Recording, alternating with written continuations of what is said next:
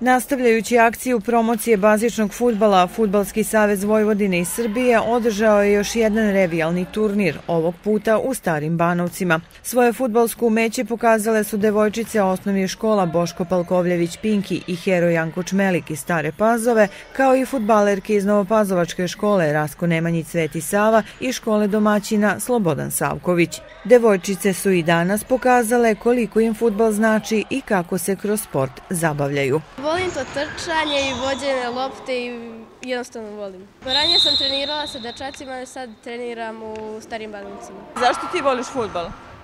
Pa prosto volim da ga igram. E, da li treniraš? Treniram. Koliko dugo? Tri godine. A što kažu dečaci?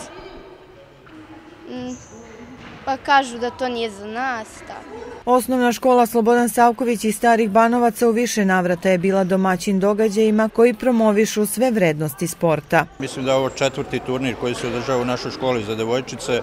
Mi smo na neki način ovaj, srećni što eto, možemo da ugostimo u ovom slučaju četiri ekipe sa naše opštine, takve su propozicije i kažem još jednom na ovom turniru će se možda i otkriti neka devojčica koja ima talenta i koja će verovatno nastaviti malo ozbiljnije da se bavi futbolom. Futbalski savez Vojvodine tokom cele godine radi na popularizaciji ženskog futbala i nagrađuje devojčice sportskom opremom i rekvizitima, ali i podrškom jer devojčice zaista vole ovaj sport. Jako vole futbal.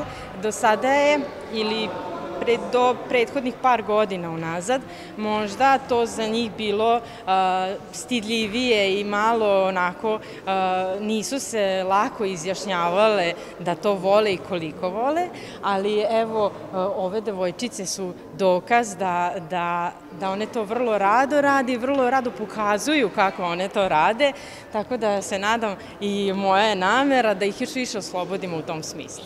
Podršku događaju pružio je i predsjednik Komisije Futbalskog saveza Vojvodine za ženski futbal Jovan Vukčević. Škole učesnice su ovom prilikom nagrađene loptama, majicama i prslucima sa obeležima UEFA programa koji je u toku.